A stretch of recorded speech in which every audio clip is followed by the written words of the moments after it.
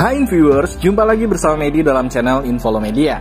Satu lagi negara Eropa Tengah yang akan Medi bahas kali ini. Semoga info kali ini bisa menambah wawasan kita mengenai negara-negara di benua Eropa. Negara yang akan Medi bahas kali ini ialah negara Hungaria atau Hongaria. Sebelum lanjut, silahkan tekan tombol subscribe ya dan jangan lupa nyalakan loncengnya agar tidak ketinggalan informasi Medi sajikan di channel ini. Mari kita lanjut. Hungaria adalah negara yang dikelilingi daratan alias tidak memiliki perbatasan laut ya viewers. Letaknya berada di Eropa Tengah yang berbatasan dengan Austria di sebelah barat, Slovakia di sebelah utara, Ukraina di sebelah timur, Rumania di sebelah tenggara, Kroasia dan Serbia di sebelah selatan, dan Slovenia di barat daya. Luas negara Hungaria sebesar 93.026 km persegi dengan ibu kota bernama Budapest. Jumlah penduduk Hungaria pada tahun 2021 sebesar 9,71 juta jiwa dengan etnis mayoritas yang tinggal di negara ini adalah orang Hungaria atau bangsa Magyar, yakni bangsa Finno-Ugrik. Menurut sejarah, mereka mulai menduduki cekungan tengah sungai Danube pada akhir abad ke-9. Orang Hungaria mengenal negara mereka sebagai Magyarország, yang berarti daerah Magyar. Bahasa ibu mereka adalah bahasa Hungaria sebuah bahasa Finno-Ugrik yang tidak berhubungan dengan bahasa-bahasa tetangganya, namun berkerabat jauh dengan bahasa Finlandia dan bahasa Estonia. Bahasa Hungaria merupakan bahasa resmi di negara ini.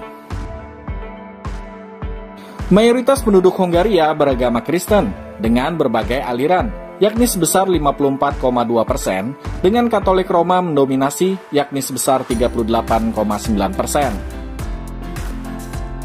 Mari kita melihat sejarah singkat Hongaria. Pada masa Kekaisaran Romawi sebelum tahun 895, orang-orang Romawi biasanya menyebut wilayah ini Pannonia. Setelah Roma jatuh di bawah migrasi suku-suku Jermanik dan juga karena tekanan bangsa Karpia, periode migrasi pun terus mendatangkan banyak penyerang. Pertama-tama kedatangan orang-orang Hun di bawah pimpinan Attila. Setelah itu orang-orang Lombardi dan Gepit yang berkuasa di Pannonia selama satu abad. Kemudian bangsa Avar berkuasa di negeri ini selama lebih dari dua abad. Setelah itu orang-orang Perancis dari barat dan Bulgar dari tenggara berhasil menggulingkan kekuasaan Avar. Setelah orang-orang Frankia mengundurkan diri, kerajaan Slavonik Moravia Raya dan Kepangeranan Balaton menguasai sebagian besar wilayah Pannonia sebelum kedatangan bangsa Magyar pada akhir abad ke-9. Bangsa Magyar adalah orang-orang Hungaria yang kita kenal saat ini, Kerajaan Hongaria didirikan pada tahun 1000 oleh Raja Zen Isvan I. Sering berjalannya waktu, kerajaan Hongaria menjadi sebuah kerajaan yang independen di bawah keluarga Arpad, yang membentuk sebuah kebudayaan Eropa Tengah yang khas dengan ikatan dengan peradaban Eropa Barat yang besar. Di bawah pemerintahan Raja Matthias Corvinus pada tahun 1458 sampai tahun 1490, Kerajaan Hungaria menjadi pusat seni dan budaya Eropa yang penting pada masa Renaissance. Kemerdekaan Hungaria berakhir ketika kerajaan ini ditaklukkan oleh Kesultanan Ottoman pada awal abad ke-16.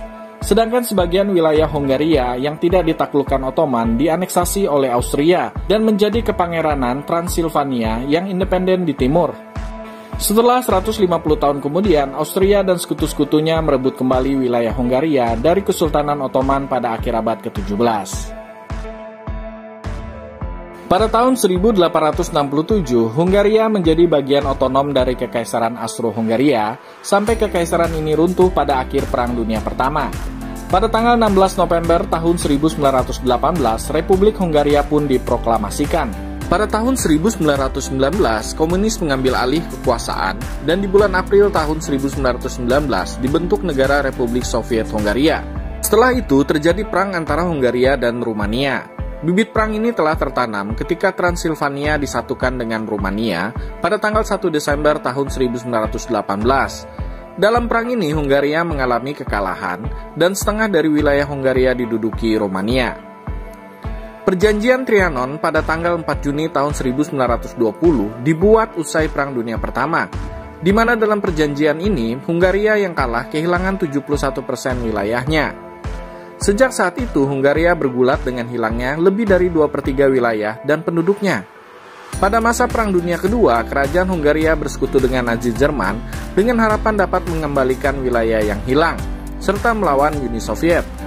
Setelah kekalahan Nazi Jerman dalam Perang Dunia Kedua, Hungaria menjadi taklukan Uni Soviet dan dijadikan sebagai negara komunis setelah pernah merasakan masa demokrasi yang singkat, yakni pada tahun 1946 sampai tahun 1947. Pada tahun 1948, seorang pemimpin komunis bernama Matias Rakosi membentuk suatu pemerintahan Stalinis yang menyebabkan terjadinya revolusi Hungaria di tahun 1956.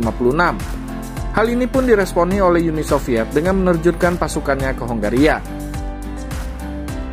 Selama tahun 1960 sampai tahun 1980, Hungaria menikmati status khusus di Blok Timur, Hingga akhirnya di akhir tahun 1980-an, Hungaria memimpin gerakan untuk membubarkan Pakta Warsawa dan beralih kepada demokrasi multipartai dan ekonomi yang berorientasi pasar.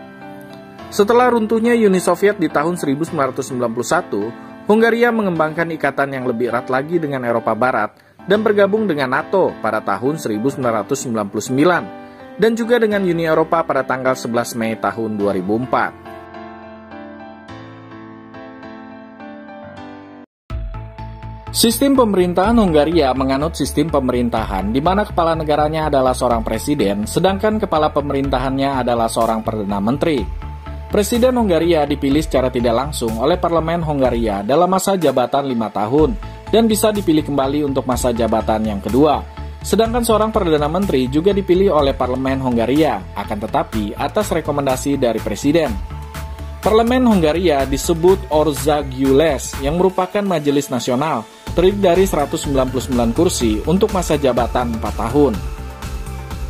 Fakta lain dari negara ini ialah Hongaria terkenal karena lembaga matematikanya yang telah mendidik banyak pemenang hadiah Nobel. Bangsa Hongaria pun sangat bangga akan penemuan-penemuannya yang mencakup holografi, korek api, teori tentang bom hidrogen, bullpen, kubus Rubik, dan bahasa pemrograman basic. Oke viewers, demikianlah sedikit informasi mengenai negara Hongaria yang berada di Eropa Tengah. Semoga informasi tadi bisa menambah wawasan kita semua untuk mengenal kawasan atau wilayah sebuah negara di dunia. Dan jangan lupa untuk tekan tombol subscribe serta nyalakan loncengnya ya, biar Medi lebih semangat lagi dalam menyajikan informasi di channel ini. Sampai jumpa!